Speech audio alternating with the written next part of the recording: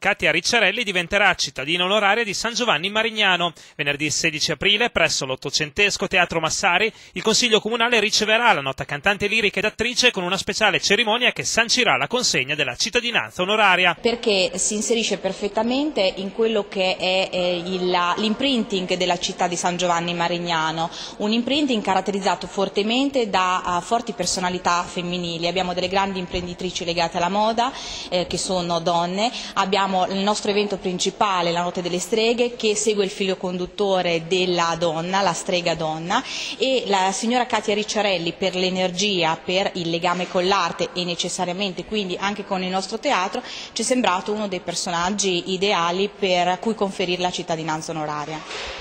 Domenica 11 aprile invece partirà la stagione del Teatro Massari, il cui programma è stato presentato giovedì mattina in conferenza stampa. Il titolo della rassegna, che si snoderà da aprile a luglio, sarà Intermittenze, per la direzione artistica del Teatro dei Cinque Quattrini, la compagnia nata ufficialmente nel 1997 che da allora opera costantemente sul territorio romagnolo. Cominciamo subito proprio con questa domenica, l'11 aprile, con il Teatro dell'Ariette. Loro vengono da Castello di Serravalle in provincia di Bologna e noi teniamo particolarmente a questo spettacolo spettacolo che apre perché crediamo che sia anche eh, una novità eh, nel nostro territorio vedere le ariette che fanno un tipo di teatro ancora molto semplice e molto emozionante.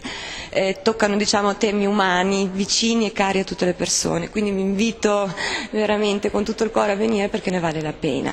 Poi abbiamo un secondo appuntamento che è il 25 aprile con eh, Daniela Piccari e Lucia Vasini che sono una conferma, loro fanno un concerto, si esibiscono in voci con dei bravissimi musicisti, eh, utilizzando poeti quali Baldini, quindi di carattere popolare, ma veramente in una maniera ironica e divertente.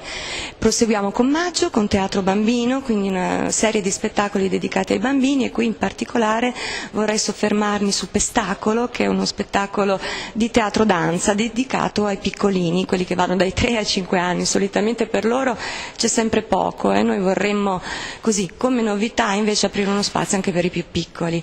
E, mm, da qui passiamo a giugno, alla festa delle streghe, qui sarà la compagnia, la nostra compagnia che si esibirà eh, cercando di tenere aperto il, serato, il, teatro per tutte le sere della manifestazione.